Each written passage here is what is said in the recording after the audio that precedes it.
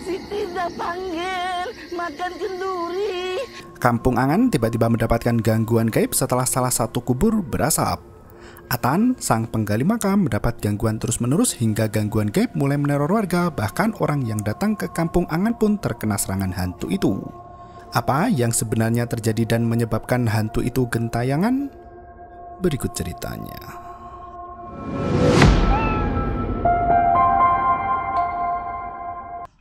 Di suatu malam, kuburan dari kampung Angan tiba-tiba berasap dengan sendirinya.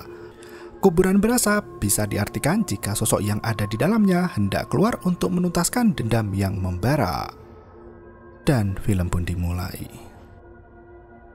Malam itu, Pak Ajis berjalan-jalan di kuburan dan mendapati Atan, sang penggali kubur, tidur di dalam lubang yang ia buat. Atan bertanya pada Pak Ajis, apakah ada yang meninggal? Jika ada warga yang meninggal, ia sudah menyiapkan lubang kubur untuk si mayit. Pak Ajis memberitahu jika tak ada warga yang meninggal dan ia meminta Atan untuk segera kembali ke rumah karena Toyam sudah menunggu kepulangan Atan.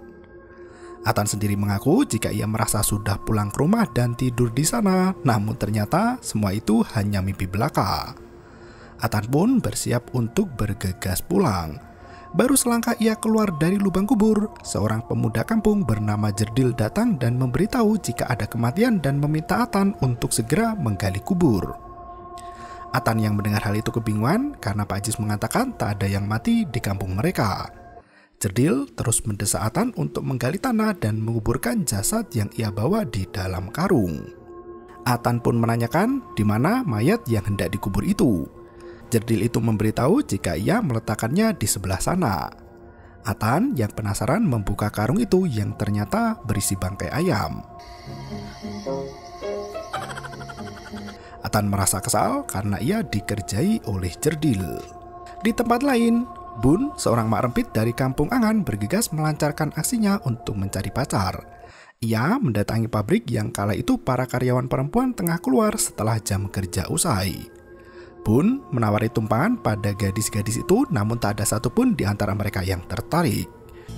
Dia, tak. Dia. Hingga ketika Bun berbicara sendiri, para gadis masuk ke dalam mobil yang membawa mereka pulang ke rumah.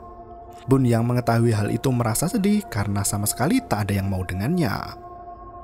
Setelah mengerjai Atan, Jerdil dan Tocai pergi menemui klien mereka yang hendak membeli barang enak. Mereka bertemu di tengah jalan agar tidak ketahuan pihak berwajib. Setelah bernego perihal harga, Jerdil dan Tocai justru terkena tipu di mana pembeli mereka memberikan cincin tak bernilai sebagai jaminan utang. Mereka berdua merasa kesal dan bergas melanjutkan perjalanan. Dalam perjalanan itu, mereka bertemu dengan sosok wanita berbaju putih yang berdiri termenung di pinggir jalan. Melihat ada kesempatan, Jerdil segera menggoda gadis itu. Sayangnya, ia tak mendapat jawaban sama sekali. Tiba-tiba, sosok itu menghilang dan membuat Jerdil dan Tocai kebingungan. Esok. Oh, lusa. Tercium bau yang sangat busuk di dalam mobil. Tocai dan Jerdil saling menyalahkan satu sama lain dan tanpa mereka sadari sosok wanita itu sudah berada di bangku belakang. Karena tak melihat sosok Pontianak di belakang mobil, Jerdil dan Toce pun memutuskan untuk kembali pulang ke rumah. Esok harinya, Atan berpamitan pada Toyam untuk berangkat bekerja. Ia memberitahu jika malam nanti Atan akan pulang terlambat karena ada urusan di kuburan yang harus diselesaikan. Atan meminta Toyam untuk tidak menunggu kepulangannya nanti. Toyam membawakan bekal namun ia takut jika bekal itu tak cukup sampai malam nanti. Atan menenangkan Toyam dan memberitahu jika ia akan mencari makan sendiri jika bekal itu habis. Toyam sangat bangga dengan Atan yang rajin bekerja. Ia juga tak mengkhawatirkan jika mati nanti siapa yang akan mengurus mayatnya karena sudah ada Atan.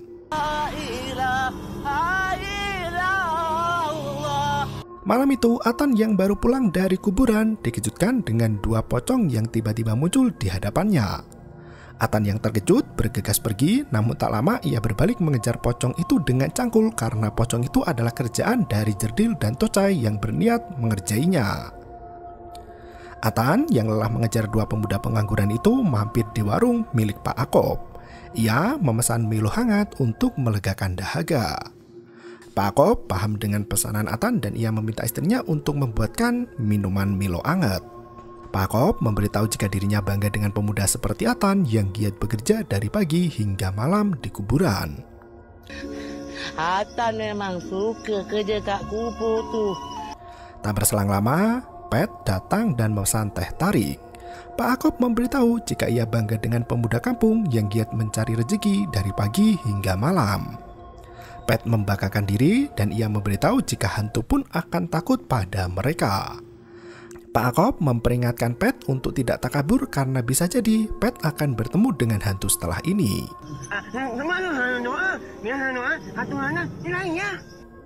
Selesai bersanteria, Pet kembali melanjutkan pekerjaan sebagai sopir pengantar ayam.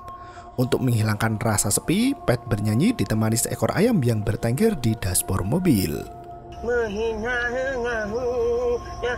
Setelah melewati belokan, ia kebelet kencing dan meminggirkan mobilnya.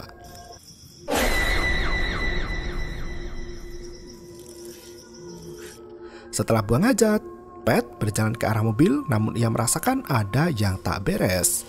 Sosok makhluk halus melayang mengikuti Pet dari belakang.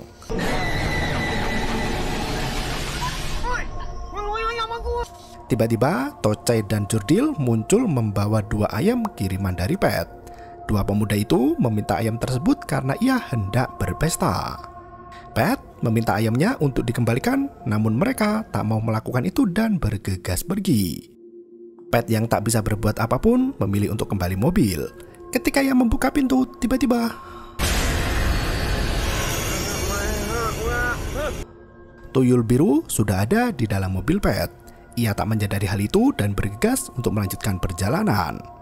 Pet mulai merasakan pegal di pundaknya hingga tiba-tiba mobil berhenti dengan sendirinya di area pekuburan.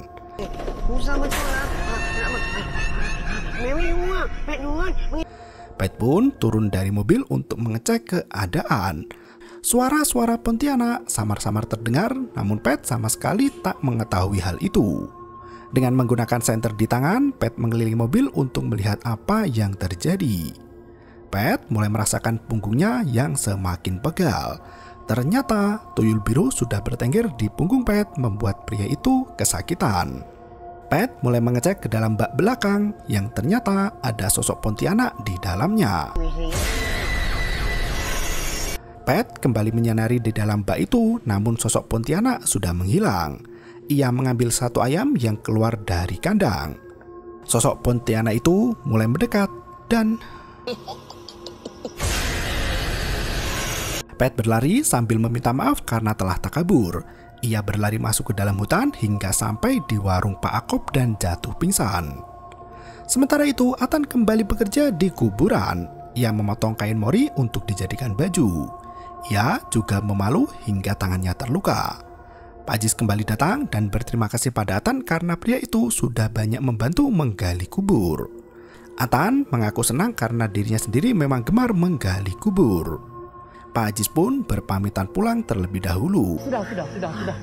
Assalamualaikum. Sementara Atan masih menyelesaikan beberapa pekerjaan. Atan kembali melanjutkan menggali kubur hingga ia merasakan hawa yang tak sedap. Diambilnya palu di dalam tas untuk berjaga-jaga. Ternyata Tok Yam datang membawakan makanan. Atan yang terkejut meminta maaf karena hendak mencelakai Toyam. Atan sangat berterima kasih pada Toyam karena telah memberinya makan.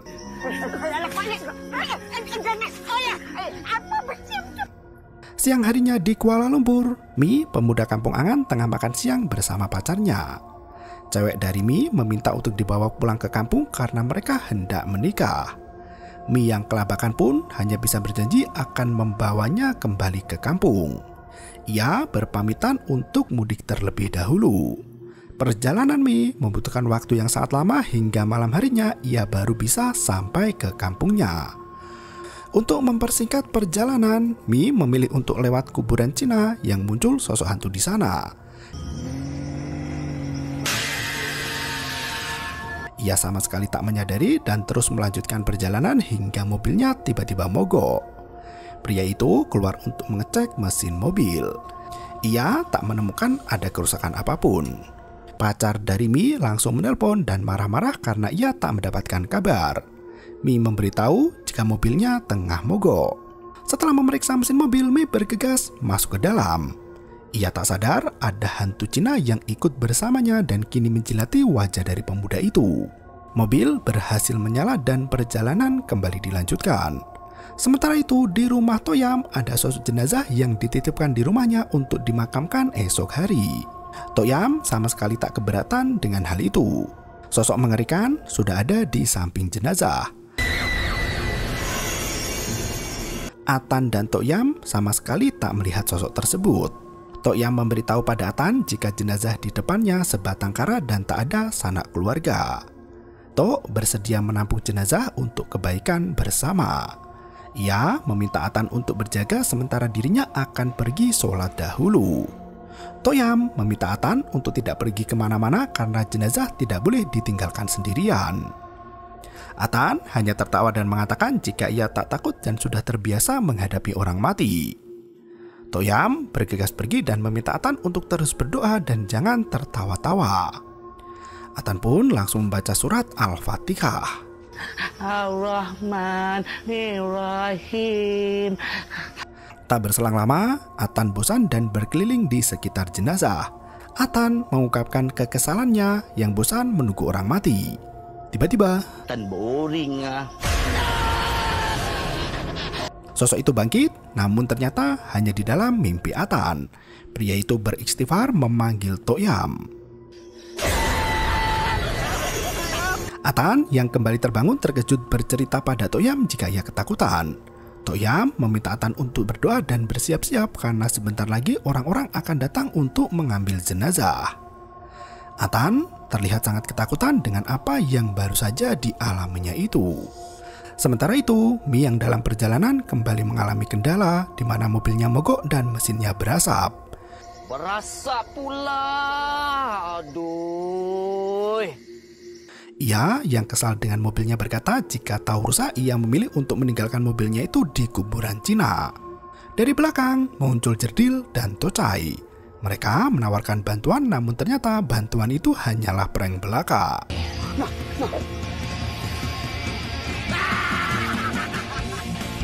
Karena merasa tak ada solusi, Mi memilih meninggalkan mobilnya di dekat kuburan. Ia berjalan masuk ke dalam hutan untuk sampai kampung. Dengan senter di tangan, ia menelusuri jalan setapak hingga menemukan sebuah sungai. Mi melihat gadis yang mandi di sungai tengah malam. Mi merasa terpesona hingga terlena. Ketika mengalihkan sedikit pandangan, gadis yang ada di depannya tiba-tiba menghilang. Pria itu merasa kecewa karena perempuan itu menghilang tiba-tiba. Tangan hantu yang bertengger di pundak membuat Mi ketakutan dan berlari kembali ke mobilnya.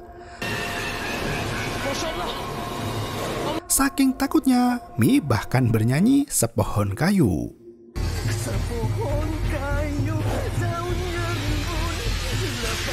Ia masuk ke dalam mobil dan Pontianak itu masih terus mengikuti hingga membuat Mi ketakutan parah. Ia bergegas berlari keluar dari mobil. Atan yang tengah menggali kubur malam-malam melihat tangan muncul dari dalam kuburan. Pria itu kebingungan ada tangan di sana. Ketika diperhatikan lagi, tangan itu menghilang. Mi yang lari ketakutan menabrak Atan masuk ke dalam lubang kubur. Atan tak menyadari jika ada manusia yang baru saja menabrak tubuhnya. Ia pun bergegas kembali ke rumah. Cerdil dan Toca yang mengetahui jika ada pria tidur di kuburan, mereka berdua mengerjai Mi hingga pria itu kembali pingsan. Mereka berdua menelanjangi Mi dan menaruhnya di atas mobil. Atan dan beberapa warga kebingungan melihat kejadian itu. Atan pun meminta bantuan yang lain untuk membawa pria itu dibawa ke rumah Toyam. Mak Rempit pun kembali mengendarai motornya untuk melaju ke warung Pak Akop. Atan dan yang lain menceritakan pengalaman malam lalu bertemu dengan hantu. Pak Kop memperingatkan sebagai manusia kita tidak boleh takabur. Mi yang berada di sana pun memperingatkan Bun karena pria itu mungkin akan menjadi korban selanjutnya. Pak Kop mempunyai analisa jika ada yang tak beres dengan kampung mereka. Ia meyakini jika sosok itu gentayangan karena ingin membalaskan dendam atas kematiannya. Bun tak percaya dengan perkataan teman-temannya tentang hantu. Ia pun bergegas pergi mencari perempuan di tempat pabrik. Ia mengincar perempuan yang berdiri sendiri bernama Siti. Bun merayu gadis itu hingga membuat wanita yang duduk di sana kebingungan. Mereka tak mengerti karena di tiang itu tak ada siapa-siapa.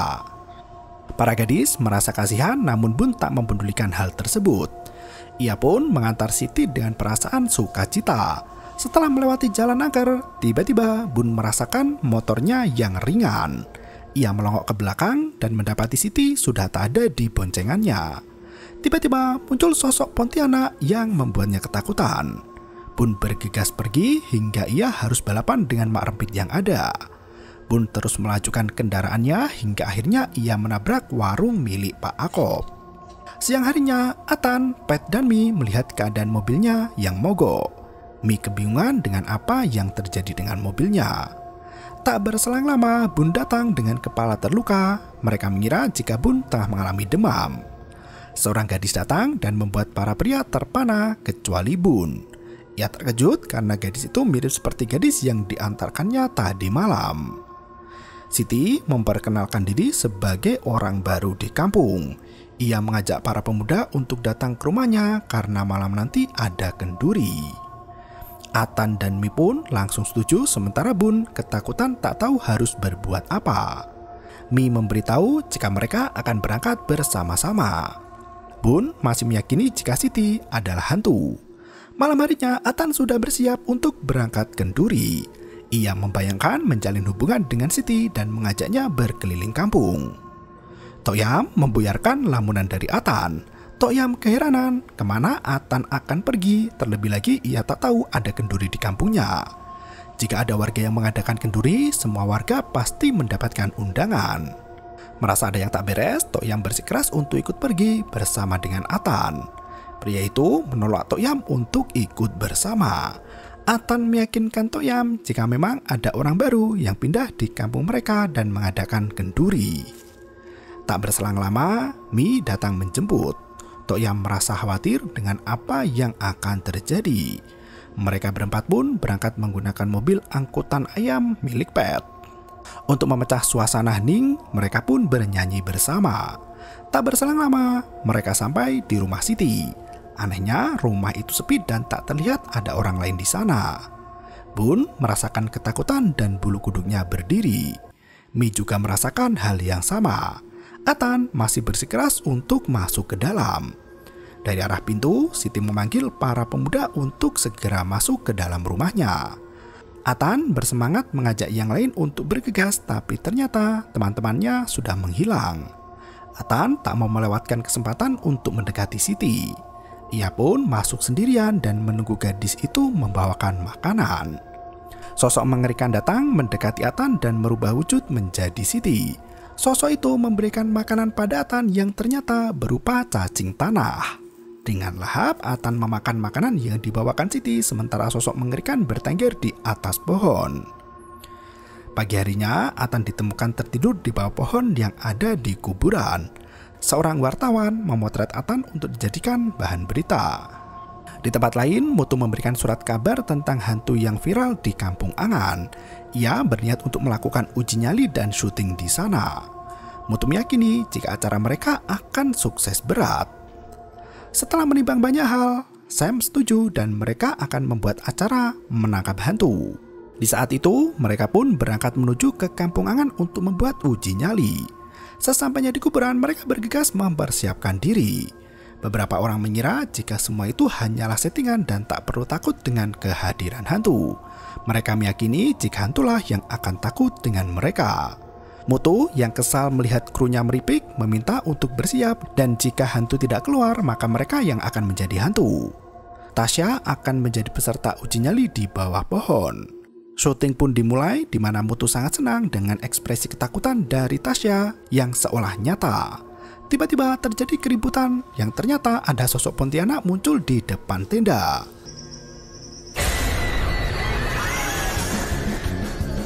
Mutu yang melihat hantu itu bergegas kabur pulang ke rumah. Tak berselang lama, bos mereka datang dengan dandanan ala dukun. Ia langsung berhadapan dengan Pontianak yang ternyata itu adalah hantu asli. Tanpa pikir panjang, semua kru lari kalang kabut sebelum Pontianak itu menangkap mereka. Pak Kop, Mi, Atan, Bun, dan Pet datang. Patan menenangkan yang lain dan menjelaskan jika sosok itu hanyalah menuntut keadilan atas kematiannya. Pontianak itu ingin memberitahu siapa sebenarnya yang telah membunuhnya. Pak Ako pun meminta yang lain untuk membaca doa.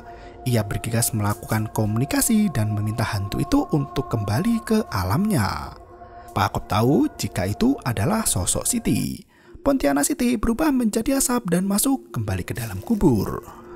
Pak Akop menjelaskan jika kini semua sudah selesai dan hantu itu sudah kembali ke tempat asalnya.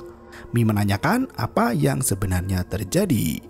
Pak Akop memberitahu jika Siti dirogol oleh komplotan Tocai dan juga Jerdil. Setelah melakukan perbuatan bejat itu, Tocai justru membunuh Siti tanpa sebab yang jelas. Pak Ako pun meminta yang lain untuk segera kembali. Bun mengingatkan pada Atan jika Siti itu adalah hantu. Ia mengejek Atan yang jatuh hati dengan Siti. Bun hanya berbicara sendiri hingga ia mulai ketakutan. Tocai dan Jerdil pun akhirnya ditangkap polisi atas perbuatan yang mereka lakukan. Di malam lain, Atan mendatangi kuburan Siti untuk mendoakan. Tak berselang lama setelah Atan pergi, kubur kembali berasap dan muncul tangan. Apa yang terjadi selanjutnya ada di suatu malam tanah kubur berasap dua, dan film pun berakhir. Film ini mengingatkan untuk tidak takabur. Sikap takabur selalu memandang rendah orang lain dan merasa jika dirinya sendiri lebih tinggi. Dalam film ini, setiap yang takabur dengan hantu maka akan didatangi hantu itu. Apa yang terjadi di kampung angan selanjutnya Terima kasih dan sampai jumpa. Yo yo yo, bermau itu ketarep.